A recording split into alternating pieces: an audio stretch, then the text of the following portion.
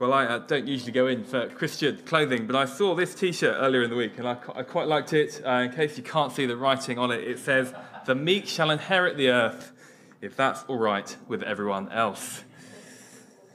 Unfortunately, the, uh, the people who make it, they don't ship to the UK, so I don't have new clothes to preach in uh, this Sunday. Um, but I, I quite liked it. And maybe it gets to the heart of what we think of when we hear that word, meek. Uh, the meek, they're a bit of a pushover. Uh, they wouldn't say boo to a goose. They're, they're a doormat that we can uh, trample on. And I don't know, but I think in our culture, if you describe someone as meek, it's quite dismissive, isn't it? Um, meekness is, is weakness, I think, particularly if we're looking to get on in the world. If we want to do that, well, we need to be powerful and assertive and take life by the horns and go out and make something of ourselves. And of course, that's not just a modern uh, phenomenon. If you were here with us earlier in the year when we were looking at the life of Jacob in the book of Genesis, you'll remember how grasping uh, he was, how he did everything in his power to try and make something uh, of himself. It's not a modern idea, and yet Jesus is clear. Blessed are the meek. Blessed are the meek. Uh, or we could say the gentle uh, or the humble. It's another way that word gets translated elsewhere in the New Testament. Blessed are the meek, the gentle, the humble, for they will inherit the earth. Well, this morning we're going to dig into Jesus' words to understand uh, how that can be so that the meek will inherit the earth. And if there is blessing to be found in being meek, well, how can we cultivate that blessing in our lives? Uh, but before we do that, let me just take a, a, step back and remind you of where we are as we come to the Beatitudes. Uh, here in the Beatitudes, Jesus is speaking to his earliest followers and he's showing them what the life of repentance looks like. Uh, uh that is, the life where they've turned from rejecting God to living for him, to entrusting their lives to him uh, to having Him as the King over all they do instead of themselves. And so, if you're a Christian here uh, this morning, these words are for you. Uh, they're an invitation to enjoy the goodness of kingdom living under Christ's loving rule. But that's not to say, uh, if you're here this morning and you wouldn't call yourself a Christian, that there's nothing here for you. Uh, because although Jesus is speaking directly to his earliest followers, actually, there's also a crowd of interested onlookers gathered around him. And they're listening in to Jesus' revolutionary countercultural teaching. And we read a little bit later in Matthew's Gospel that they were amazed at what they heard.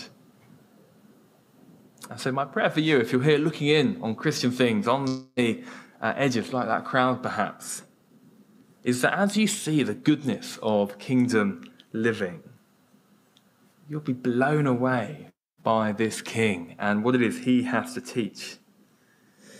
And maybe even wanting to start to live that life of repentance yourself.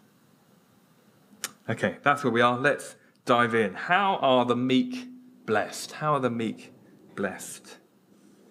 Well, in a bit, we'll think about how we can cultivate this blessing, and we'll see that actually, in just being meek, there is blessing for us. But first, we're going to focus in on exactly what Jesus said that the, the meek will inherit the earth.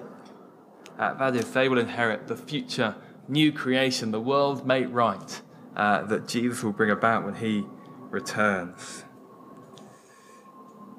And he says that the meek will inherit that. And I think another way of thinking about that I found helpful this week is that uh, a meekness, it's like a posture that enables you to receive from God. Let me say that again. Meekness, it's the posture that enables you to receive from God. And so when you're teaching a child to uh, catch a ball, well, the first thing you have to do is, is teach them the posture they need to uh, take so that they're in a position to receive the ball. The, um, the rugby club that our girls play for.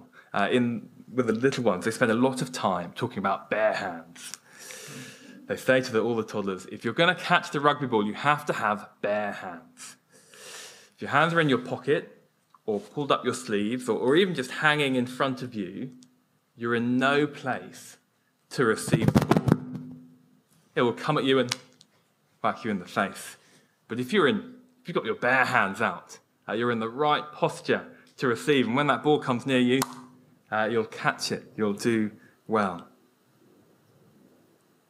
And just like the kids having bare hands, ready to receive uh, the rugby ball, so it is with meekness. It's the right posture to have to receive from God. Why is that? Well, with meekness comes humility, comes the recognition that, that you actually don't have everything sorted, or, or indeed that you don't bring anything to the table.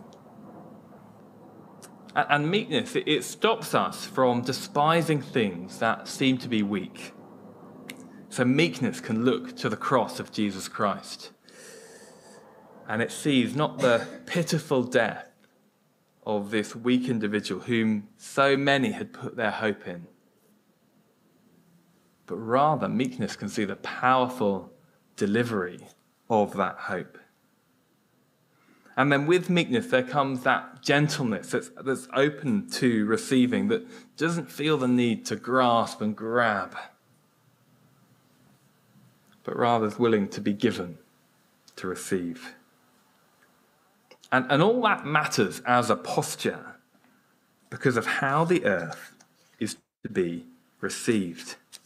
Did you notice what it was that Jesus said? Blessed are the meek, not because they will earn or win or take, but inherit the earth.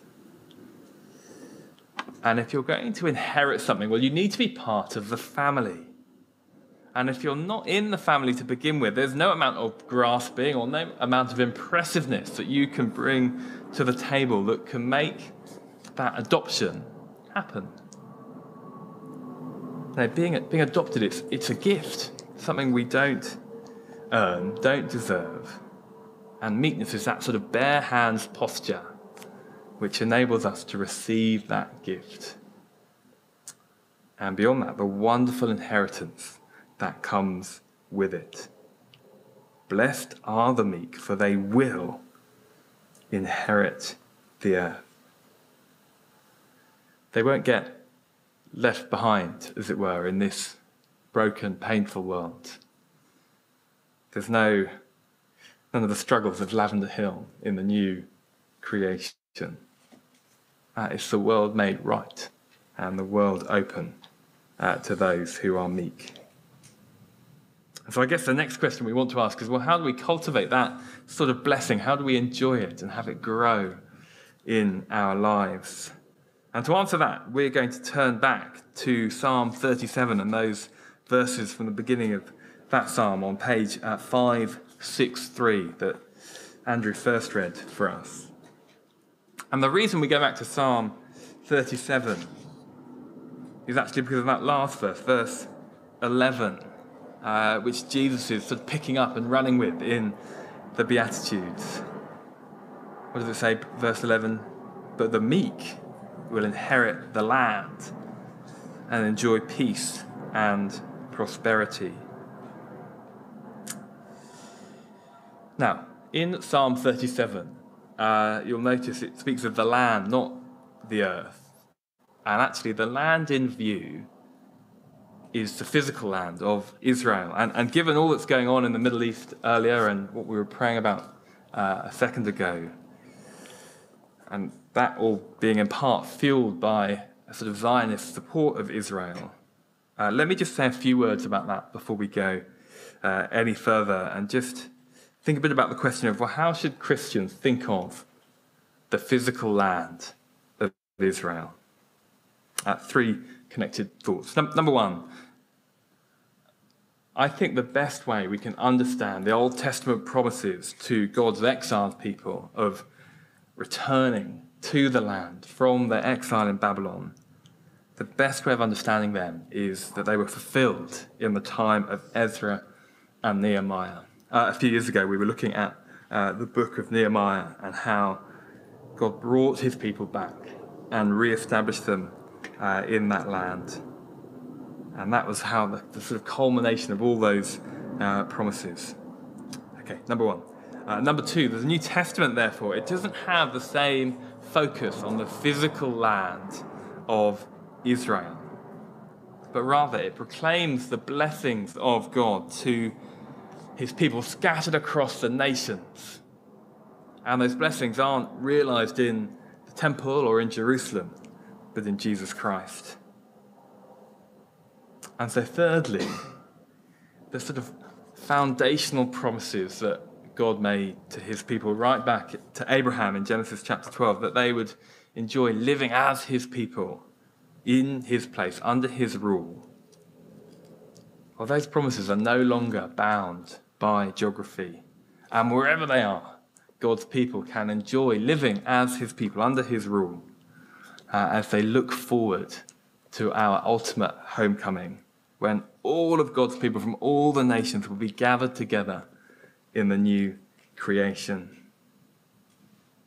And so, all of that means that while Jewish people should be protected from anti Semitic hatred, and I think should be allowed to occupy some of their historic territories, there's no divine right to all of Israel.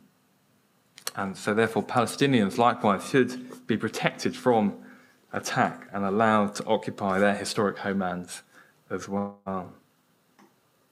I know it's a big difficult subject and happy to speak more about it later. But here's the short version. When we read in Psalm 37 of the land, the Christian should understand that as speaking of the new creation to come. And so, with that in mind, let's experience, uh, sorry, explore how we can experience the blessing of meekness. And Psalm 37, these opening verses, give us three ways to do that. Uh, here's the first thing that Psalm 37 invites us to do it invites us to not fret when we see injustice in the world, but rather to trust that God will put it right. Uh, so, have a look, verse 1 of Psalm 37. David writes, Do not fret because of those who are evil, or be envious of those who do wrong for like the grass, they will soon wither. Like green plants, they will soon die away. Uh, or verse 7, further down the page Be still before the Lord and wait patiently for him.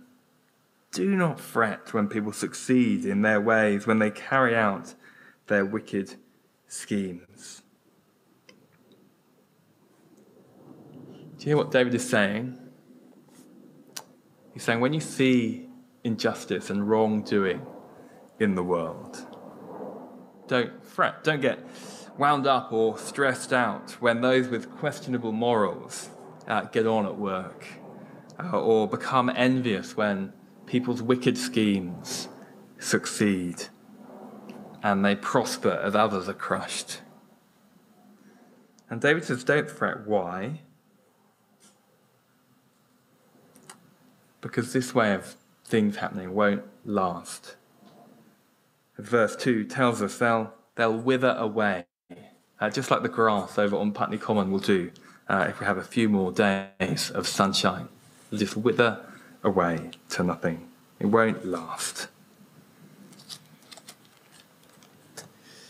And if we do what verse 7 tells us to do, to wait patiently on the Lord, well, as we wait patiently on Him, He will put things right. He'll do verse 6. Uh, he will make your righteous reward shine like the dawn, your vindication like the noonday sun.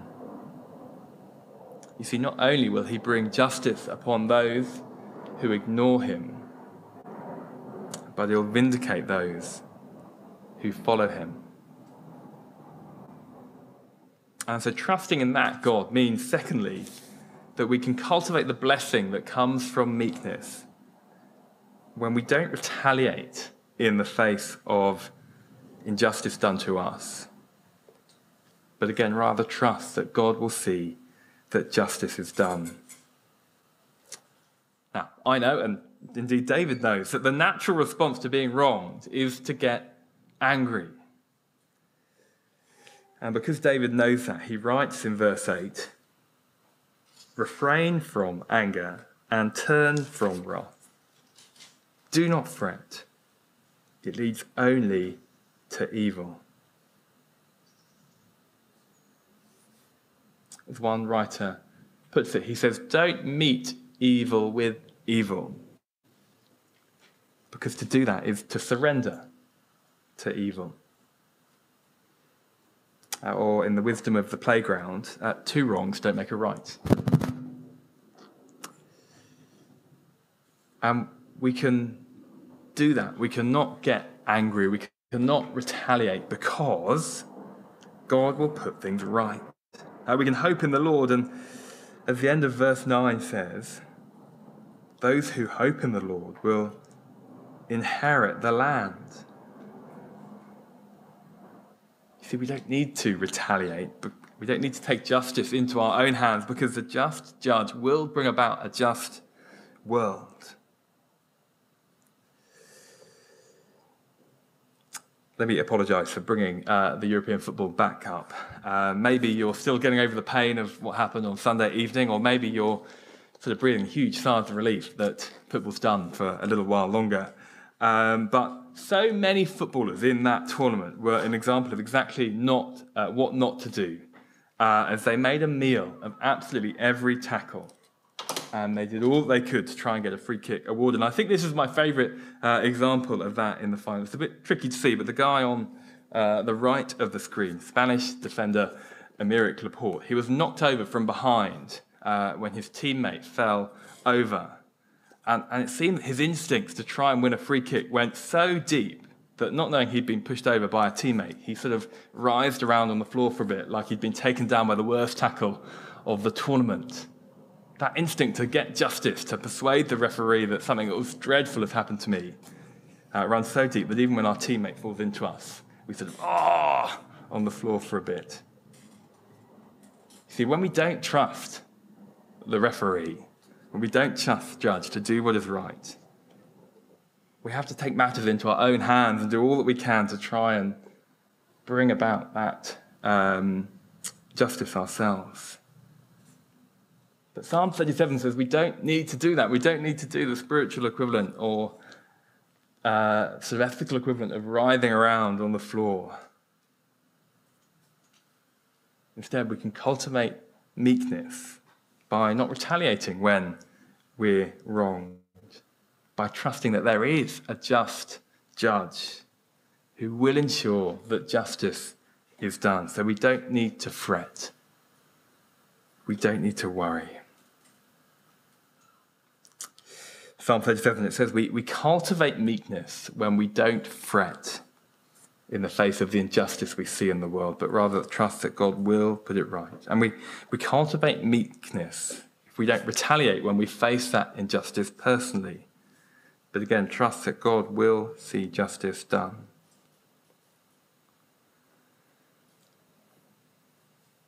But that trust in a God who will put things right doesn't mean that we never do anything.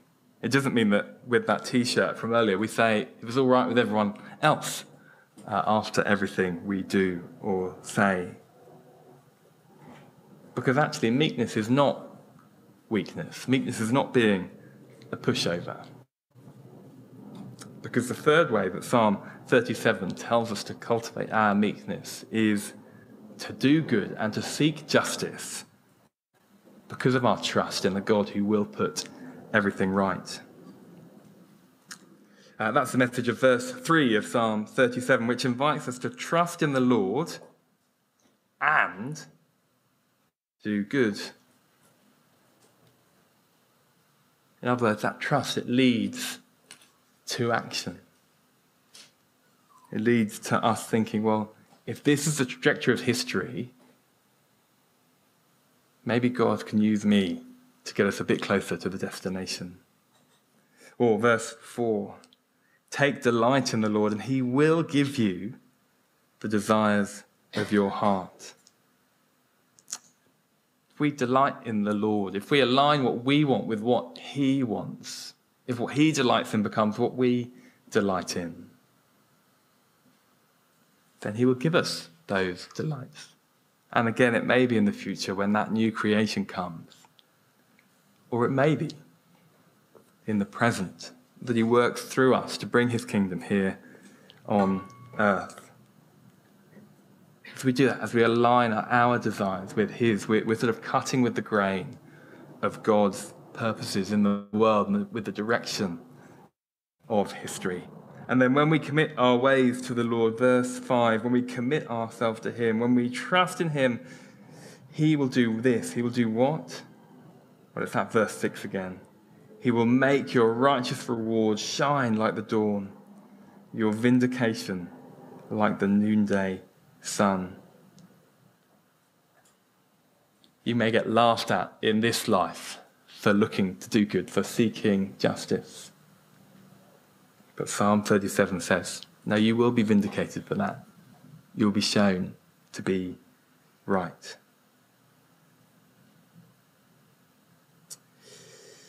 And what might that look like? What might it look like to cultivate meekness by doing good and seeking justice because of our trust in God? Well, here's what meekness in action looks like it looks like using whatever power that we have not in a sort of lashing out way, but in a controlled way. And not to retaliate to our personal affronts, but rather to help others in their injustice, uh, in the injustice that they face. I, I said earlier that one of the ways the New Testament translates this word, we have meek here in Matthew 5, is gentleness. And one of the places you see that translation is in uh, Galatians 5, as it comes as part of the fruit of the Spirit, something we looked at 18 months or so ago here at church. And, well, I won't get through it all because it's literally a whole other sermon. But uh, Ben, we were exploring how meekly doing good and seeking justice uh, led to the restoration of sinners. And it led to opponents being gently corrected by the truth of the gospel. And it, and it led to gently sharing our faith with others sinners restored,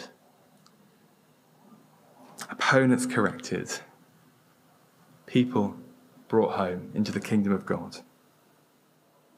All done by meek, gentle power, under control, in the service of other people. If you'd like to think a bit more about that, I've stuck uh, the link to that sermon in our back catalogue at the bottom of um, the sermon sheet there, the running order meekness is cultivated as we do good and seek justice because we're trusting God and because we're trusting that He will bring about a world in which wrong is put right. And I wonder, as, as we come to a close, can you see how this sort of meek living isn't just a blessing because the meek will inherit the earth. And that is an incredible future blessing that Christians have to look forward to. But actually, this sort of meek living is good for us in the here and now. And why is that? Well, it's because it frees us from the fretting and the stressing and the getting wound up at injustice. And it frees us from having to take matters into our own hands and, and put everything right for us because no one else is going to. It frees us from all that worry. While at the same time freeing us to use any power we do have in a sort of controlled way that, that isn't out of self interest, but is actually for the good of others uh, as we follow in our Saviour's footsteps. Because after all, what did his gentle meekness ensure? Well, it secured an eternal inheritance for all who trust in him. Jesus says, Blessed are the meek, for they shall inherit the earth. Let me lead us in a prayer, thanking God for the truth of Jesus' words and asking that we might all share in that blessing. Uh, let's pray together. Our Father in heaven, your ways really are not our ways. And if our world was writing uh, the Beatitudes, we would not read, Blessed are the meek, for they shall inherit the earth. And yet, in your kingdom and in your economy and in your way of doing things, that is wonderfully true.